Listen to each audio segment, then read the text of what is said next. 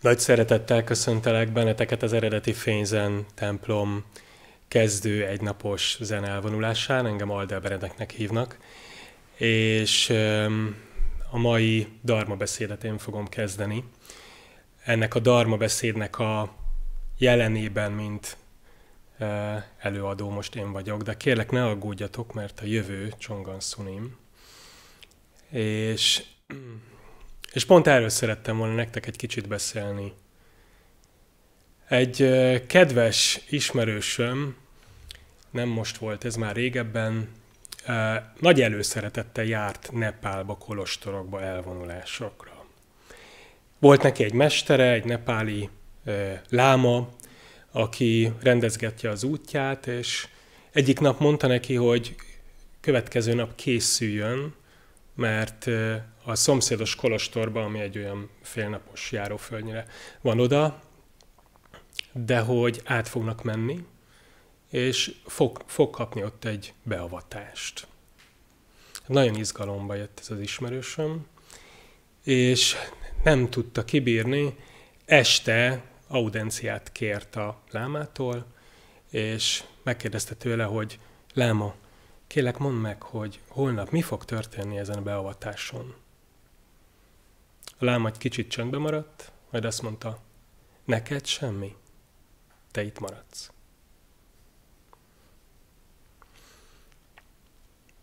Mi a múlt, mi a jelen, és mi a jövő a tudatosság szempontjából.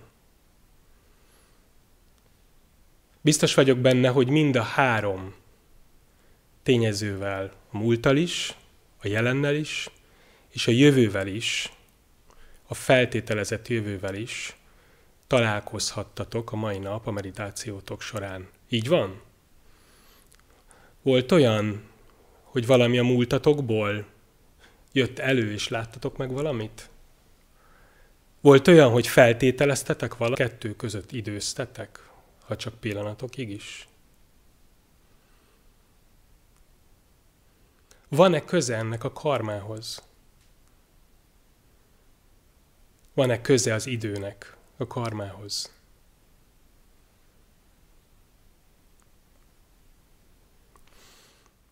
Mi a múltunk? A tudatunk, emberi mi voltunk, folyamatosan létrehozza saját múltunkat azáltal, hogy mindenre emlékszik. Egy belső memóriabank folyamatosan minden egyes pillanatunkat rögzít, és emlékek formájában eltárol. Amikor eme emlékek között kotorászunk, ezt tudjuk a múltunknak nevezni önmagunkban. Ezek azok az emlékek, amiből fölépítjük aztán a világ leírásunkat. Amilyennek látjuk, amilyennek emlékezzük a múltunkat, olyannak látjuk, olyannak gondoljuk a világunkat.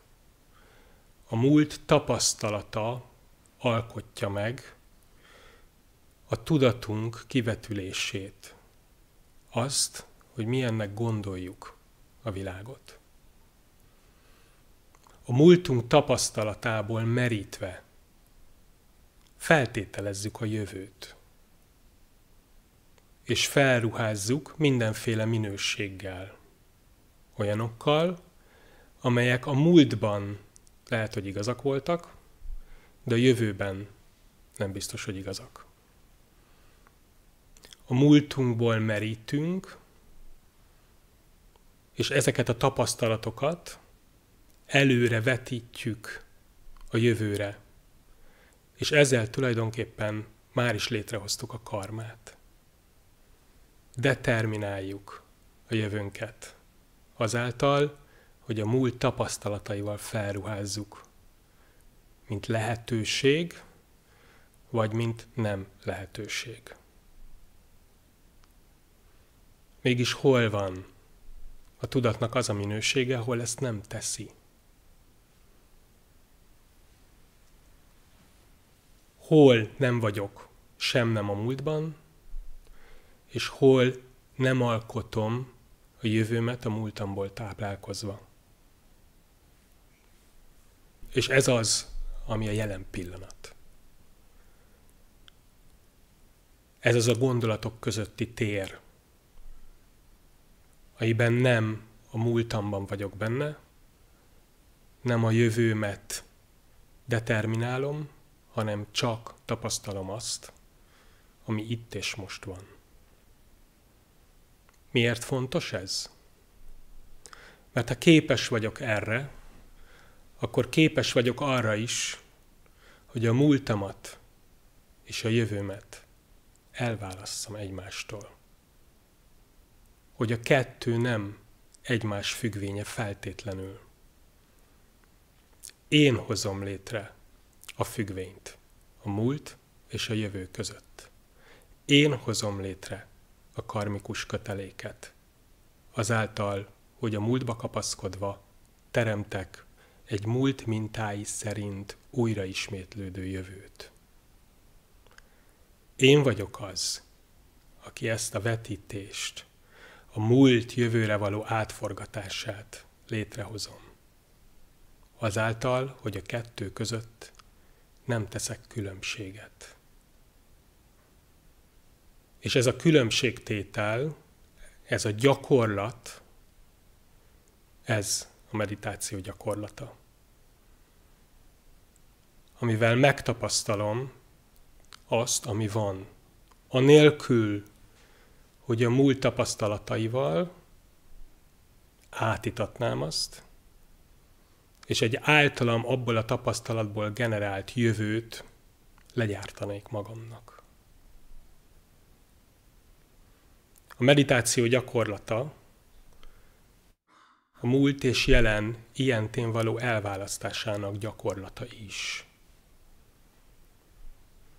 Ezáltal képessé válok arra, hogy megszabaduljak a múltam kötelékeitől, és elkezdjek egy abszolút, teljesen más jövőt teremteni saját magamnak.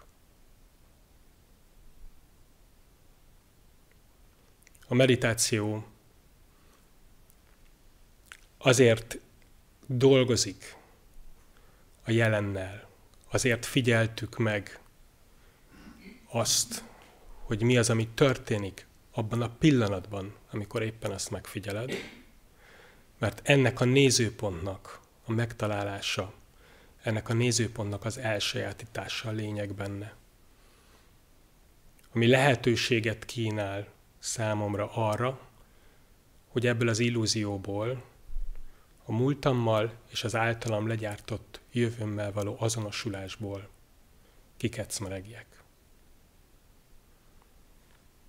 Bízom benne, hogy a mai gyakorlatotok során volt lehetőségetek a zen meditációt megtapasztalni, annak minden minőségével,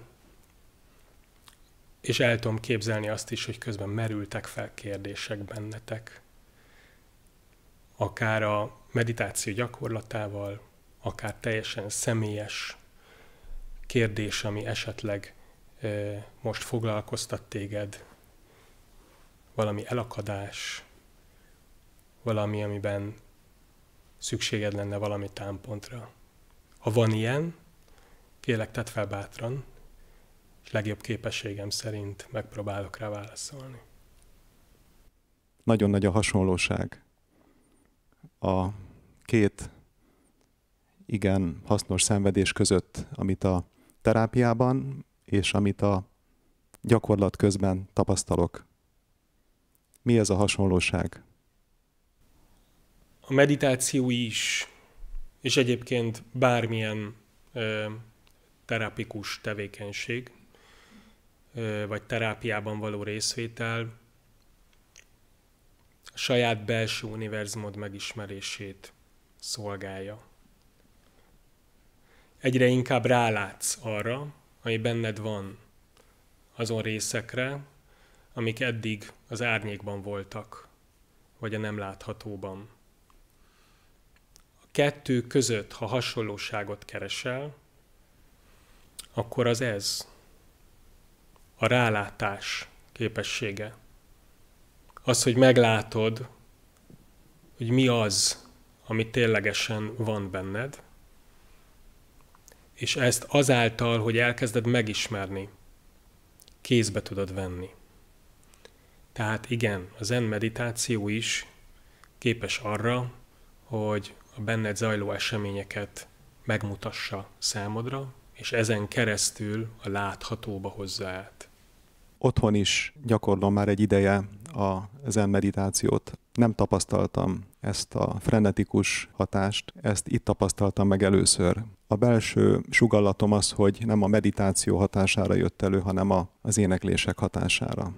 Köszönöm. A templomi gyakorlatban, ha megfigyeltétek, egy egész nap gyakorlatilag a meditációra van felépítve. Ennek része az ülőmeditáció, a sétáló meditáció, az éneklés és egyébként még az étkezés is. Az egész jelenlét a templomban gyakorlatilag egy nagy meditáció. Ezért ezek a mondjuk úgy, hogy gyakorlatok vagy tevékenységek egymástól különbözőek tűnnek és elválaszthatók, de mégis egyek. Egyéb kérdés? Itt, amit teszünk, meditáció, sétáló meditáció, éneklés, étkezés, ez mind-mind valójában a jelenlét gyakorlása. Ha innen kimegyünk, akkor mi az, amit tudnál javasolni, hogy ezt, ezt tovább vigyük? Tartsd meg azt a belső ösvényt, amit ezen gyakorlatok során kiártál magadban. És járd be ugyanúgy, mint ahogy itt teszed a templomban. Köszönöm. Próbálom tartani ezt a mindennapi életben, hogy jelenlétben vagyok, de nem sikerül, és minél jobban igyekszem törekedni erre, annál nagyobbat robbanok utána. Akkor mi az, amivel ezt le tudom állítani, vagy eljutok odáig, hogy ne robbanjak fel? A meditáció nem tévesztendő össze azzal, hogy helyzetekre elnyomva a helyzetekre adott szükségszerű vagy helyes választ, nem reagálok. Kétségtelenül az önvaló nézőpontját mondhatnánk úgy is, hogy egy kibillenthetetlen nézőpont. De nagyon fontos, hogy az élet hétköznapi színterén a szerepszemélyiségeink által tudnunk kell egyébként akár megvédeni magunkat, tudnunk kell helyzetekre reagálnunk, tudnunk kell határokat is szabni, és tudnunk kell ezeket a határokat feloldani, ha annak van ott a helye. Tehát a meditáció képessé tesz, illetve tehet arra, hogy ne a múltamból reaktívan válaszoljak önkéntelenül és determinált módon egy helyzetre, hanem átlássam azt, ha úgy tetszik objektíven, és valami más karmát létrehozva tudjak rá választ adni. Ez egy folyamat, nem megy egyik pillanatra a másikra. De az élet hétköznapi szinterén nem tudsz folyamatosan az önvaló nézőpontjában létezni. Valamilyen szerepszemélyiséggel ki kell áradjál a világba. Kell bizonyos helyzetekben, a munkahelyeden, a családban, a, az élet különböző szinterén megfelelő módon interakcióba kerülni a környezettel. A lényeg az, hogy meglátod-e a szerepszemélyiségeid működését. Meglátod-e az azzal való hamis önazonosságot? Meglátod-e azt, hogy a szerepszemélyiségeid átalakíthatóak? Át tudod-e élni? Tudod-e tapasztalni azt a nézőpontot, ami rá tud látni a szerepszemélyiségeidre? Mert ha ez megvan, akkor onnantól kezdve már azok is alakíthatóak, kézben tarthatóak, és nem sodródsz bele kellemetlen vagy nehéz helyzetekbe. Tehát a meditáció nem tévesztendő össze az elfolytással.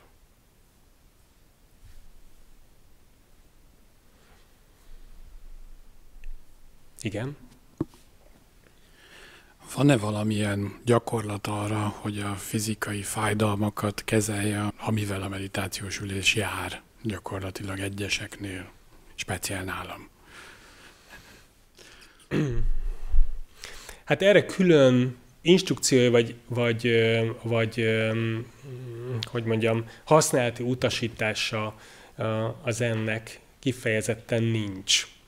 Én mindig azt javaslom, hogy meg kell próbálni lehetőség szerint valami olyan pozíciót fölvenni, ami számodra kezelhető.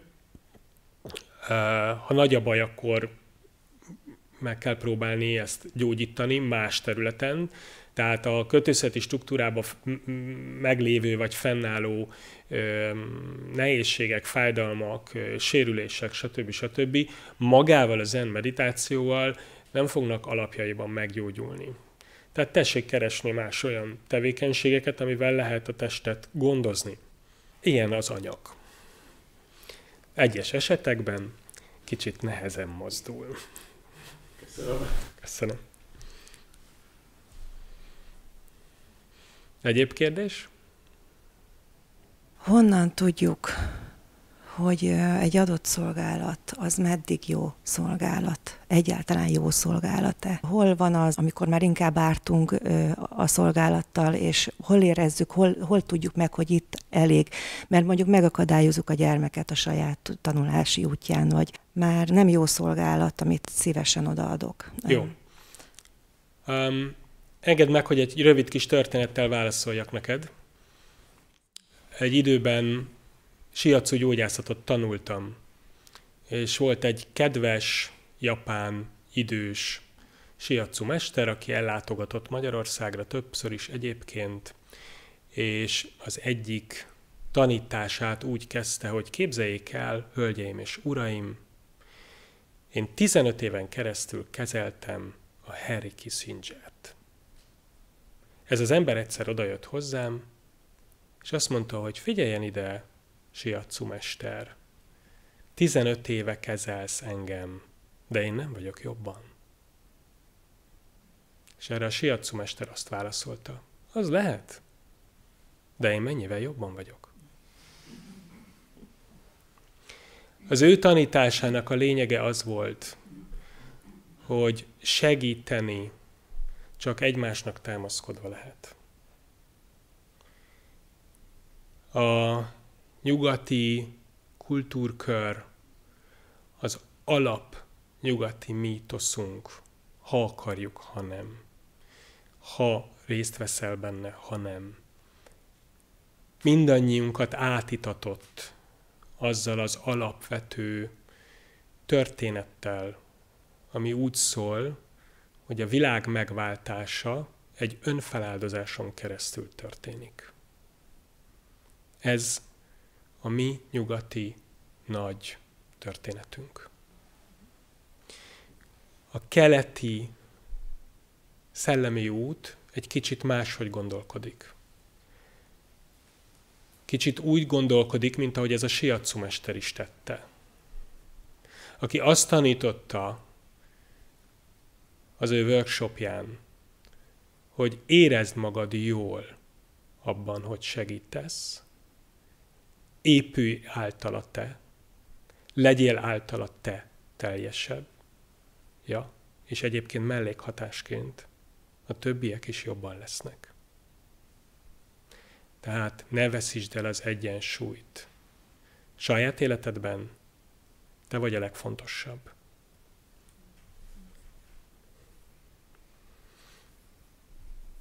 Nagy kínom, hogy mi az értékesebb, a csend, amit megtörök, vagy amit mondanék.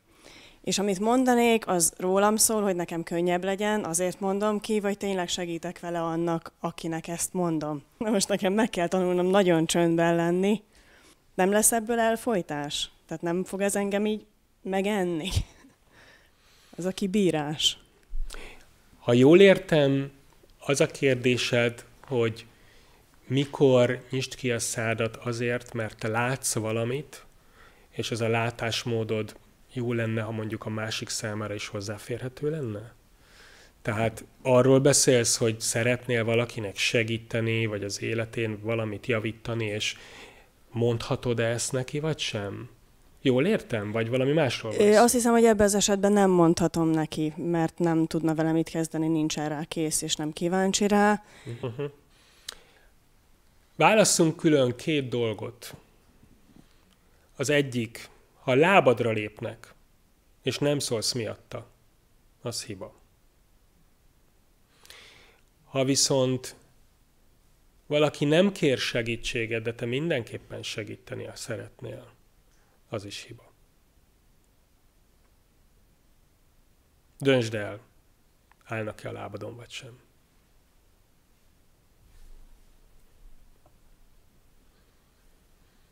Az egyensúly kérdéséhez szerettem volna csatlakozni, hogy munka, család, gyerek, egyzés, meditáció, tanulás, önfejlesztés, hogy találjam meg. Tehát azt mondod, hogy egyensúlytalanság van. Hova tolódik el ez az egyensúlytalanság? Attól függ, hova teszem a fókuszt. Van, hogy túlságosan az üzletre, van, hogy a családra, és nem szeretem az ilyen tűzoltó jellegű dolgokat, amikor annyira el van az úszva az ember valamivel, hogy már ég rá, és azért csinálja meg, mert mindenképp határidős. Hogy hogyan lehet ezt az egyensúlyt úgy megtalálni, hogy ez ne gerjeszen feszültséget akár, tehát egy jó, mindenben egy egészséges részt tudjak megtenni, akár nap, mint nap. Én azt gondolom, hogy ez egy életvezetési kérdés, amit te föltettél ami gyakorlatilag a mivel mennyi időt töltök, és hova mennyi fókuszt helyezek kérdést veti föl. Biztos, hogy az élet dinamikája folyamatosan igényli azt, hogy ez ne legyen teljesen harmonikus, és mindenhova egyforma mennyiséget ö, juttató fókuszt. Tehát ez egy folyamatosan, dinamikusan változó valami. Ezt a dinamikát próbáld meg megülni. Ne azt keresd, hogy hogy nem fogsz tüzet oltani.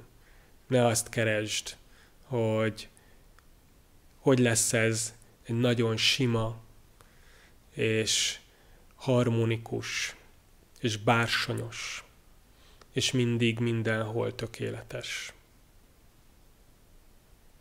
Legyél benne a pillanatban, de gondold át és tervez, és magát, a dinamikát tartsd a kezedben. Nagyon fontos, hogy az a kifejezés, ami talán divatossá vált, Carpe diem, az nem azt jelenti, hogy élj a mának. Az azt jelenti, hogy élj a mában. Élj benne a pillanatban. Érezd át a dinamikáját. És ez így rendben van. Jó.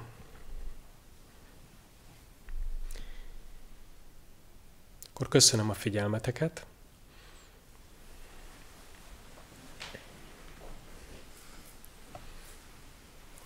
Átadom a helyet és a szót Csongán Szonimnak.